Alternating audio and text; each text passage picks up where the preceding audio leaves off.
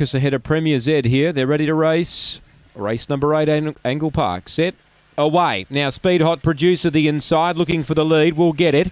Now, moving up on the outside, Aston Tadita about a length and a half away and just collided there with Premier Z as Premier Z works to second now and chases Hot Producer. Third, Aston Tadita, then Lucy Stardust. Well back was Glaucus. Wider out was Rapid Fire Rita.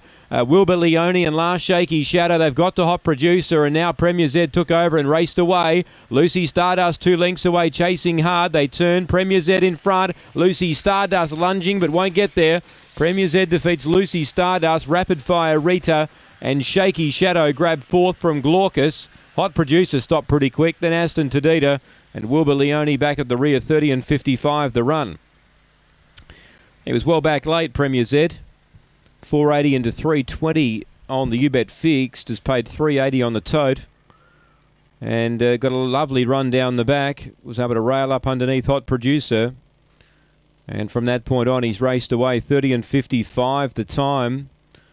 Five second, Lucy Stardust, and four third, Rapid Fire Rita.